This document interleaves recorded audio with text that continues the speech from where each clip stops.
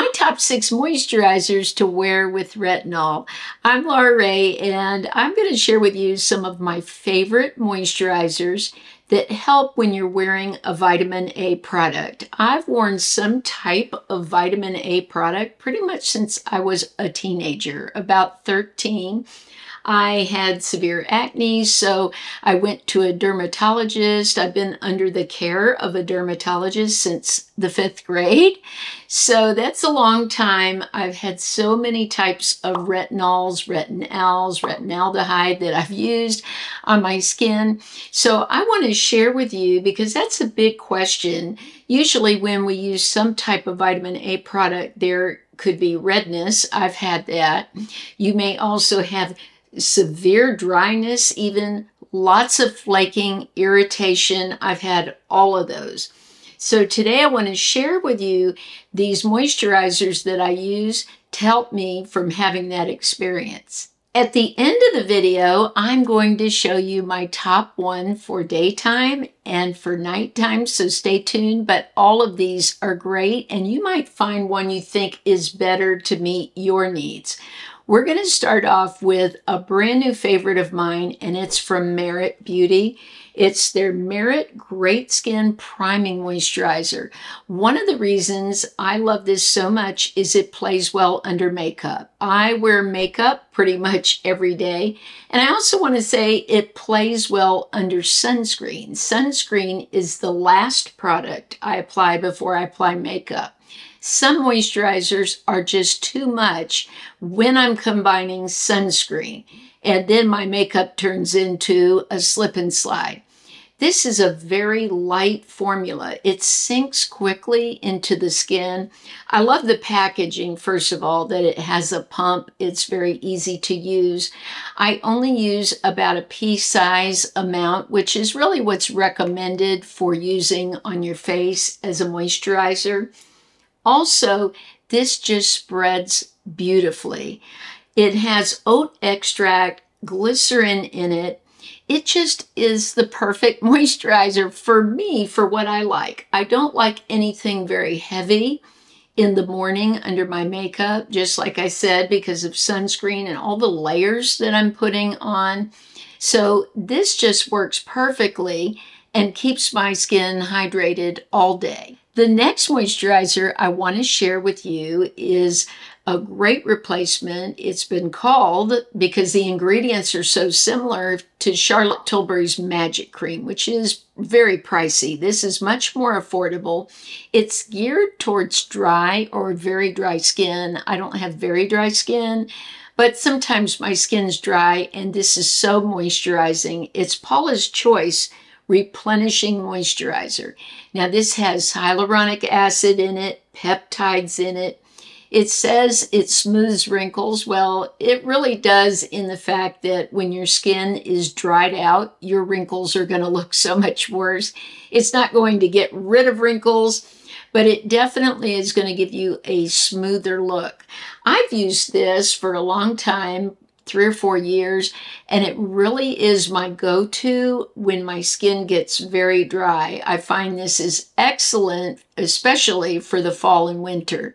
A new favorite of mine is from Kiehl's. When it was my birthday in July, Ulta gifted me this Ultra Facial Cream from Kiehl's. Now, I was already a huge fan of their avocado eye cream. I have used that up pretty much, and I'm ordering another one. This is delicious. I love it. I love the way it sinks in my skin. It says that it gives you 72 hours of hydration. I don't know about that, but it definitely really hydrates my skin. It says it repairs the skin barrier in an hour. So that's wonderful. I could see where if someone had uh, irritated skin and they put this on, they would feel better instantly. It felt that way on my skin. If you're looking for something that will play well under makeup, then I think this Kiehl's is such a find. I talked about this one from Vichy a long time ago, and boy, did I get some feedback. People telling me that's not a moisturizer. Well, a lot of dermatologists consider this Vichy Mineral 89 a moisturizer, and so does Vichy. On their site, they call it a moisturizer. A lot of people think of this more as just a serum or hyaluronic acid but it is wonderful for those of us that don't want anything heavy on our face. Again, this is so hydrating. I use it in the under eyes, just all over. My skin just drinks it in. I especially love this in the summer when I don't want anything heavy on my face. But even now, I'm enjoying it. It's more something I would apply in the daytime because I like thin formulas in the daytime. But this can be used as a first step in your skincare routine. So you could use it like you would uh, cleanse your face, then put this on, and then another moisturizer if you would like. Or if you don't have very dehydrated or dry skin, just use it as a lightweight moisturizer. Recently in my video, Five Miracle Products, I will link that video too in the description along with the products I'm speaking about today. I spoke about Prequel. This is an amazing brand started by Sam Ellis. She's a dermatologist and I bought her product that is a balm. It's a utility balm. I love using it everywhere. Cuticles, eyes, face, knees, feet, everywhere. Well, she also has a skin utility gel. This is perfect, again, for the morning time for a lightweight moisturizer. It's fragrance free. If you're looking for fragrance free, allergy tested, suitable for all skin types, I think this is fantastic. It is a gel with 20% glycerin in it, which really helps to hydrate the skin.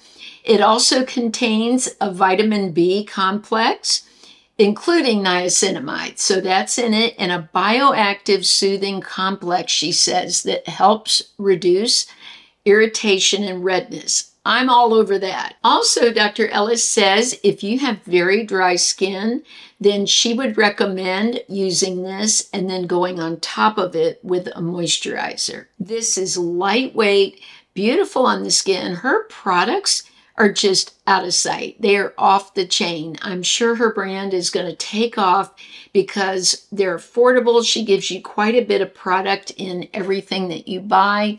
And everything I've bought so far, which is maybe seven or eight products, have been top notch. Before we get to my favorite daytime and nighttime moisturizer, I just want to say I owe so much to La Roche-Posay. I've used many of their products from the Toleriane line for so long because they are just quality products.